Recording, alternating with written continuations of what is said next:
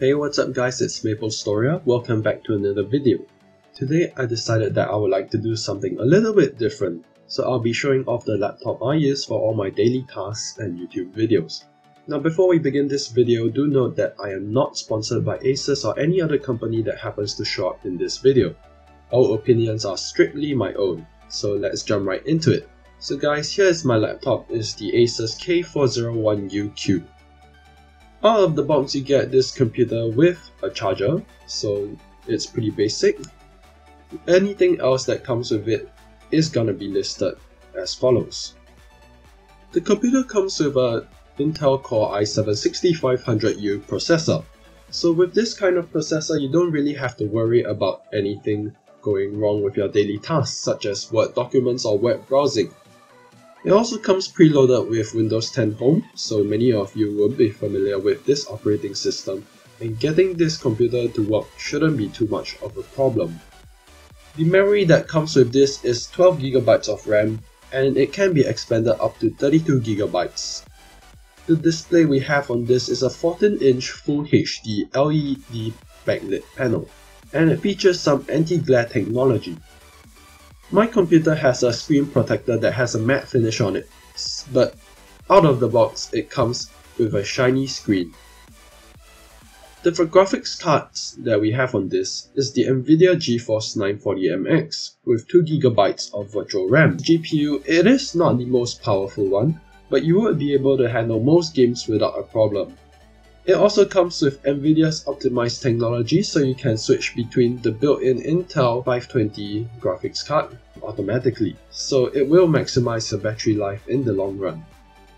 For storage, this model came with 512GB of SSD, so it really gives you some very fast data transfer rates, and you wouldn't be using up 512GB very soon either.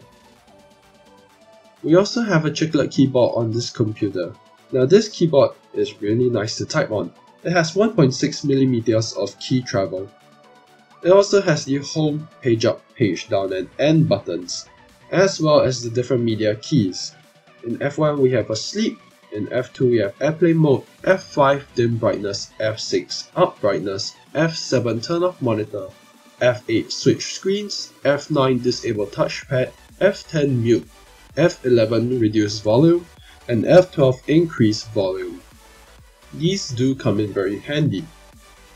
Now with this keyboard, I find people with big hands such as myself typing on it really comfortably. Here's a video showing you how I do on the keyboard. Now I'm not the fastest typer around, but the keyboard really gives me some accurate keystrokes as you can see. Over here I am on typeracer.com where you can see for yourself how fast I type. They give you a paragraph of text to type down, and they measure the words per minute for you, as you can see me in the top lane over there with 100 plus words per minute. Now the computer also comes with an SD card reader.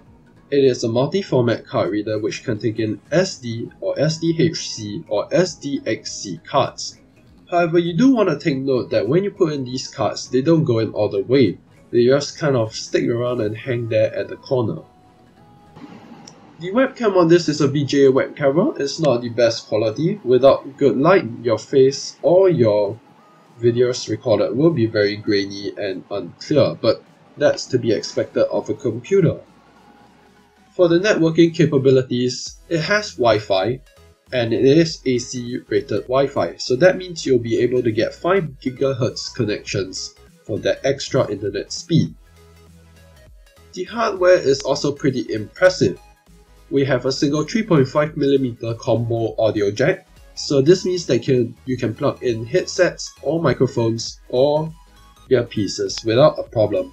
It also comes with the built-in technology from Asus that lets you switch between these modes seamlessly.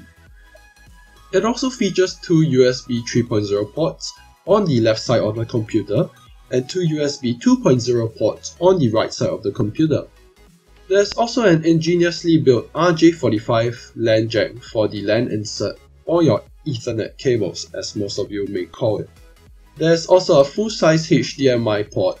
Now for the audio on this we have Asus Sonic Master speakers. Here is an audio sample.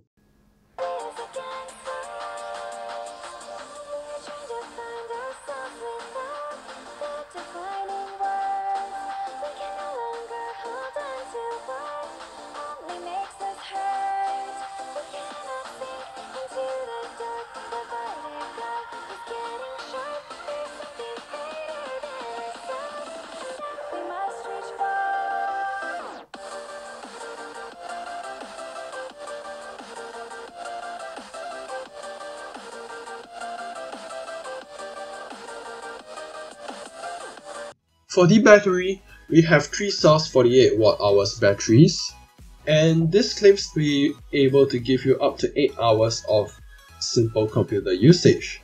Most of the time however I find myself maxing out at around 6 hours with this computer.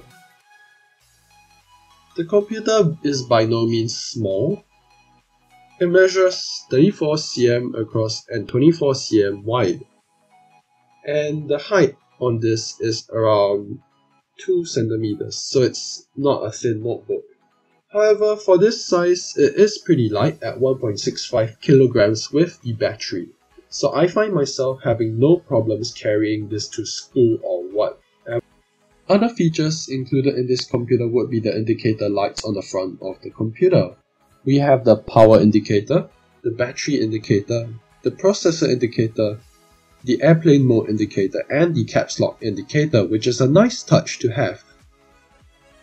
Overall, the design is a complete aluminium finish and it feels really solid in the hand. There is very little screen flex and the keyboard does not dent near the center as well. And it also looks pretty good, considering the brushed aluminium finish on the cover and the sleek bottom profile. Overall, for this price, apart from building your own computer, I would find that this is a really good deal from Asus, and I would recommend it to anyone who is interested for a budget computer. However, it does come preloaded with quite a bit of Asus crapware, so you have to get rid of those by yourself, but that is a one-off issue when you first purchase it and shouldn't be a problem in the long run. One last thing to note is that the computer is very quiet, the fan speed even when at maximum is barely noticeable. And it also features Asus's cool keyboard technology, so it makes sure that you don't burn your hands with those intense gaming sessions, as the keyboard is set to max out at around 35 degrees Celsius. Well that's it for this video, I hope you enjoyed my review. Give this video a thumbs up if you liked the video review and found it comprehensive subscribe for more of these similar videos and let me know in the comments section what can be improved on. I am new to this sort of categories of videos, so I would love to hear your opinions. Thanks for watching and see you soon.